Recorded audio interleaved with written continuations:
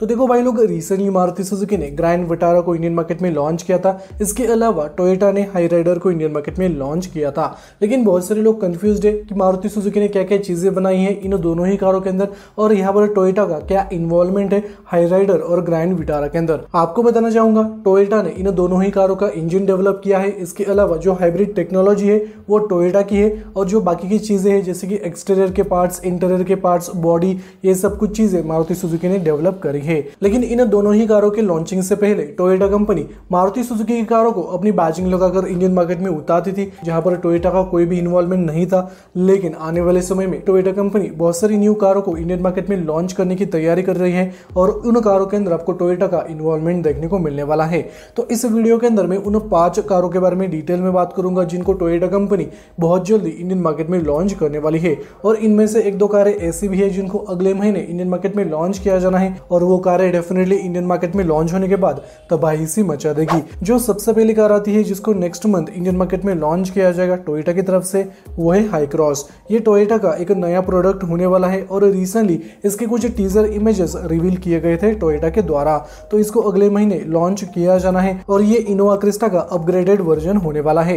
इस कार के डायमेंशन थोड़े से बड़े रहेंगे as compare to Innova Crysta यानी इस कार की लेंथ विथ और हाइट बढ़ाई गई है और ये कार दिखने में इनोवा क्रिस्टा के मुकाबले थोड़ी सी बड़ी रहने वाली है। इसके अलावा इस कार का लुक भी आपको कम्प्लीटली नया देखने को मिल जाएगा। यानी इसके फ्रंट फीशिया में नया लाइटिंग सेटअप दिया जाएगा। नए ग्रिल्स हमें देखने को मिल जाएँगे। इसके अलावा फ्रंट के बम्पर्स और रियर के बम्पर्स कम्प्लीटली नए ऑफ़र किए जाएँगे। स्पाइड फ़ोटोज़ में आप इसका रियर का फीशिया देख सकते हैं। ये रियर से इनोवा क्रिस्टा के मुकाबले थोड़ी सी बड़ी लगती है। इसके रियर फीशिया में आपको न्यू एलईडी टेललाइट का सेटअप देखने को मिल जाएगा। नए अलॉय का डिज़ाइन इसके अंदर दिया जाएगा। इसके अलावा इस कार का इंटीरियर कम्प्लीटली नया रहने वाला है। और कुछ रिपोर्ट में यह भी मेंशन किया गया है कि टोयोटा कंपनी इस कार के अंदर बहुत सारे एडवांस लेवल के फीचर्स दे सकती है, जैसे कि आपको एडास लेवल टू टेक्नोलॉजी का ऑप्शन मिल जाएगा 360 डिग्री कैमरा का ऑप्शन ऑफ़र किया जाएगा, इसके अलावा wireless smartphone charging heads up display sunroof भी ऑफ़र किया जाएगा, जो कि अच्छी खासी बात है, क्योंकि आज के डेट में इनोवा क्रिस्टा और फॉर्चुनर के अंदर आपको सनरूफ का ऑप्शन नहीं मिलेगा, लेकिन टोयोटा कंपनी हाईक्रॉस के अंदर सनरूफ का ऑप्शन दे सकती है। और रिसेंटली टोयोटा कंपनी ने अर्बन क्रूजर हाई राइडर के अंदर सनरूफ भी दिया था, जो कि अपने सेगमेंट का सबसे बड़ा पैनोरामिक सनरूफ है। तो इस कार के अंदर भी आपको सनरूफ का ऑप्शन मिलने वाला है, जो कि अच्छी खासी बात है।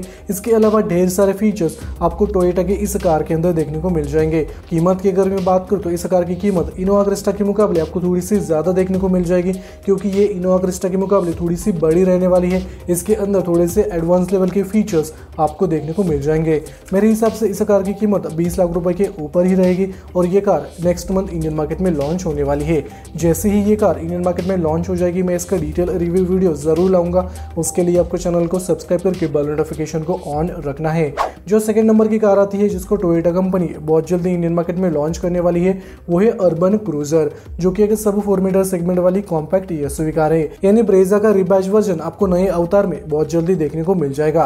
रिसेंटली मारुति सुजुकी ने ब्रेजा का फेसली मॉडल इंडियन मार्केट में लॉन्च किया था, जो कि काफ़ी तूफ़ान मचा रहा है इंडियन मार्केट में। इसके एक्सटीरियर में चेंजेस करे जाएँगे इंटीरियर के फीचर्स को अपग्रेड किया जाएगा इंजन को अपडेट किया जा सकता है और बहुत सारे फीचर्स आपको कॉमन देखने को मिल जाएँगे ब्रेजा फेसली मॉडल के मुकाबले। क्योंकि ये ब्रेजा का रिबैच वर्जन है, जिसको टोयोटा कंपनी ने कुछ साल पहले ही इंडियन मार्केट में लॉन्च किया था। तो अगले एक दो महीनों के अंदर टोयोटा कंपनी अर्बन क्रूजर का फेसली मॉडल इंडियन मार्केट में लॉन्च करने वाली है। शायद इसके फेसली मॉडल की कीमत आपको थोड़ी सी ज़्यादा देखने को मिल जाएगी।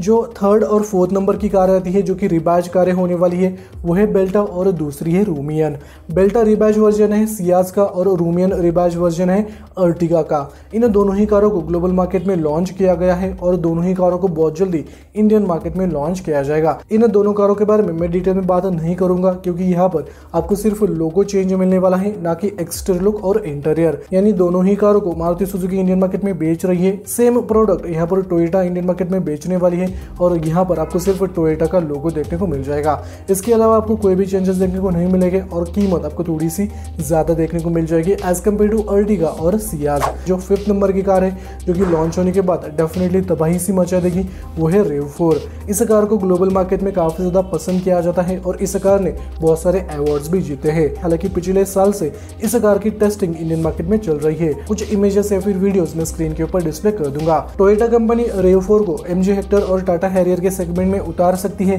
अगर इस कार को ऊपर वाले सेगमेंट के अंदर उतारा जाता है, यानी जिस सेगमेंट के अंदर सिट्रॉन सी आती है, इसके अलावा हुंडई की ट्यूसन आती है। उस सेगमेंट के अंदर ये कार बिल्कुल भी नहीं चलेगी, क्योंकि उस सेगमेंट को इतना भी पसंद नहीं किया जाता। हालाँकि फॉर्चुनर एक बार ज़्यादा बिकेगी, लेकिन इस कार का सेल आपको थोड़ा सा कम देखने को मिल जाएगा। तो बहुत सारी रिपोर्ट में यह भी मेंशन किया गया है कि टोयोटा की रेव फोर इंडियन मार्केट में लॉन्च होने के बाद टाटा हैरियर और एमजी हेक्टर के साथ कम्पीट करने वाली है, क्योंकि टोयोटा के रेव फोर के डायमेंशन और टाटा हैरियर के डायमेंशन काफ़ी ज़्यादा मिलते जुलते हैं। ये तो आने वाला समय बताएगा कि टोयोटा कंपनी इस कार को किस सेगमेंट के अंदर उतारती है और इस कार की कीमत कितनी रहेगी? मेरे हिसाब से इस कार की कीमत पंद्रह या फिर सोलह लाख से शुरू होनी चाहिए।